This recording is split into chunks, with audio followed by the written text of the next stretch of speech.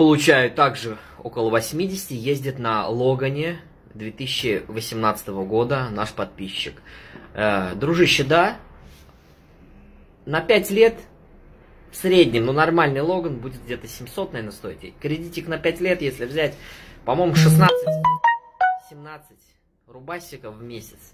85 рублей, да, 60 у тебя где-то остается, даже поболее, наверное, да, даже 70 где-то остается, грубо. Нормально. Слушай, ну а как вот на работе коллеги, они не говорят, ну, блин, 80 зарабатываешь, что-то налога не на каком-то, жизнь идет, подвигаться надо на чем-то более серьезным как бы вот как ты с этими мыслями борешься, справляешься. Ты правильно говоришь, не надо мыслить навязанным капитализмом, но вот по-любому же люди тебе говорят, ну ты чё, братан, молодой, давай как бы пробуй, пробуй, меняй тачки. Ты все-таки как-то стопы этим мыслям, да, буду ездить до пенсии на Логане, или вот как, как, напишите, ребята, вот как в такой ситуации быть.